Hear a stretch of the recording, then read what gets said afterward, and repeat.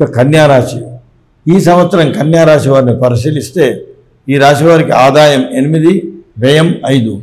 అదేవిధంగా రాజపూజ్యం ఐదు అవమానం రెండు. ఈ రాశి వారికి ఒకటో మే నుంచి సంవత్సరాంతం వరకు గురుగ్రహం తొమ్మిదో స్థానం నందు రజతమూర్తిగా సంతరిస్తున్నాడు కాబట్టి ఈ రాశివారు గతం కంటే కొంత మంచిని పొందగలుగుతారు. వీరు తలపట్టినటువంటి కార్యాలందు విజయాన్ని సాధిస్తారు.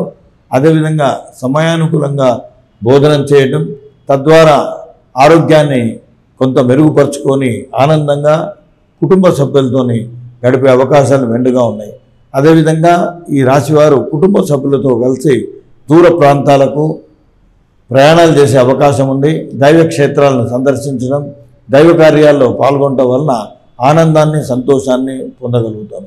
ఆర్థికంగా ఈ సంవత్సరం వీరికి అనుకూలంగా ఉంటుంది. అయినప్పటికీ అనవసరమైనటువంటి దుబారా ఖర్చులకు పోకుండా కొంత జాగ్రత్తగా పడటం అన్ని రకాలుగా శ్రేయస్కరం. అంతేకాకుండా ఈ రాశి వారికి ఉద్యోగ రంగంలో మంచి అభివృద్ధి ప్రమోషన్లు ఇంక్రిమెంట్ వచ్చే అవకాశాలున్నాయి. దేహ సౌఖ్యం కూడా వీరికి ఉంటుంది. వీరు వృత్తి వ్యాపారం నందు కూడా మంచి లాభాలని ఆర్జించగలుగుతారు. ఆర్థిక పుష్టిని కూడా వీరు పొందగలుగుతారు. ఈ రాశి వారికి అరుదైనటువంటి గౌరవాలు కూడా కలిగే అవకాశాలు ఉన్నాయి కుటుంబంలో శుభకార్యాలు పాలు ఆచరించడం దైవ కార్యాలు ఆచరించడం తద్వారా బంధుమిత్రులను కలుసుకోవటం అదేవిధంగా విందు భోజనాలు వీటితో ఏమిటంటే సంతోషంగా గడిపే అవకాశాలు మెరుగ్గా ఉన్నాయి. అంతేకాకుండా ఈ రాశి వారికి ఈ సంవత్సరం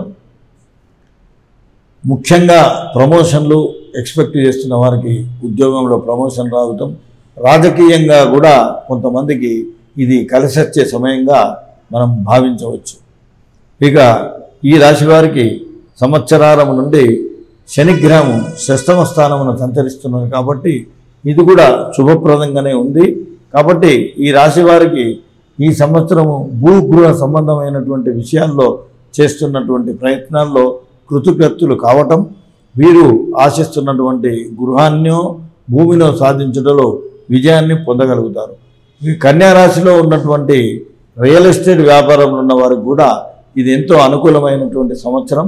వీరు ఇప్పటి వరకు పడుతున్నటువంటి ఇబ్బందుల నుంచి కొంత విముక్తి పొంది మంచిగా ఉన్నత దశలో ముందుకు సాగే అవకాశాలున్నాయి. దాంట్లో మంచి అభివృద్ధి దశలో ముందుకు సాగి ఆర్థికంగా బలిష్టంగా ఆర్థిక పుష్టిని పొందే అవకాశాలు మెరుగ్గా ఉన్నాయి. ఆరోగ్యం గురించి ఆందోళన పడకుండా చిన్న చిన్న సమస్యలు వస్తే వాటిని అశ్రద్ధ చేయకుండా జాగ్రత్త పడటం మంచిది. అదేవిధంగా అనవసరమైనటువంటి దుర దుబారా ఖర్చులకు దూరంగా ఉండాలి. దుర్వ్యసనాలకు ఈ రాశివారు దూరంగా ఉండటం సర్వత్రా మంచిది. ఇక ఈ రాశివారు ప్రతి శుక్రవారం వీలైనంత వరకు ఉదయం వీలైతే ఉదయం లేకపోతే సాయంత్రం పూట స్నానాదులు చేసి శ్రీసూక్త పారాయణం చేయండి. ఆర్థికంగా మీకు ఇంకా అభివృద్ధి కలుగుతుంది. అదేవిధంగా మంగళవారం రోజు నాడు దుర్గా సూక్తాన్ని పఠించండి. శత్రుభూతి నుంచి విముక్తి కలిగి మీకు సంతోషం ఆనందాన్ని ఇంకా ఉన్నత దశలో పొందే అవకాశాలు మెరుగవుతాయి.